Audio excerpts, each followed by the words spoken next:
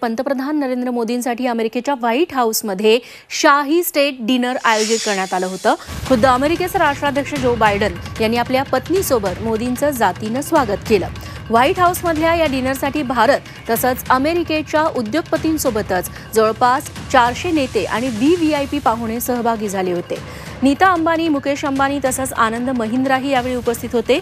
तसंच गुगलचे सीईओ सुंदर पिचाई निर्माता एम.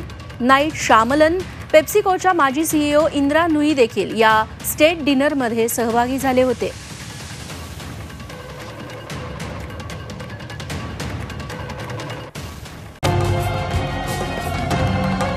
छत्रपतींचा विचार म्हणजे